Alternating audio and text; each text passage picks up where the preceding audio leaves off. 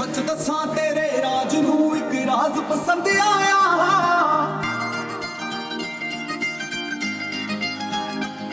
ਤੈਨੂੰ ਸੱਚ ਦੱਸਾਂ ਤੇਰੇ ਰਾਜ ਨੂੰ ਇੱਕ ਰਾਜ਼ ਪਸੰਦ ਆਇਆ।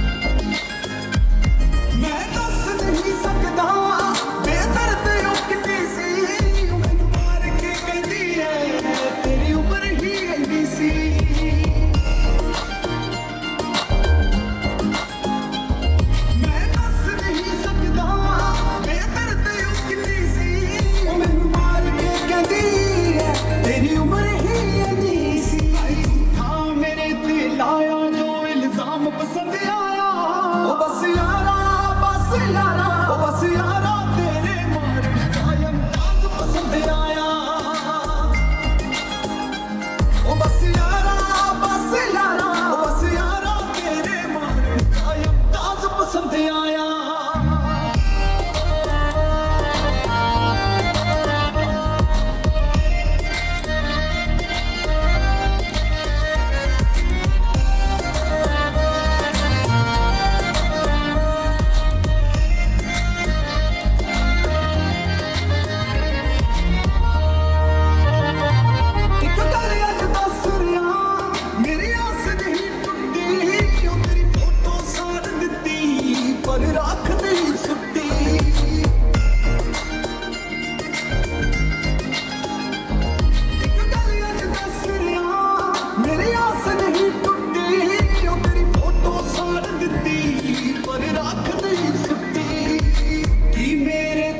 ਹੋਣਾ ਜੋ ਮੇਰੇ ਬਾਤ ਪਸੰਦ ਆਇਆ।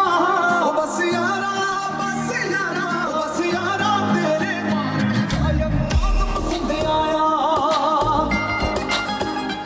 ਉਹ ਬਸ ਯਾਰਾ, ਬਸ ਬਸ ਯਾਰਾ ਤੇਰੇ ਮਾਰਨ ਆਇਆ ਬਾਤ ਪਸੰਦ ਆਇਆ।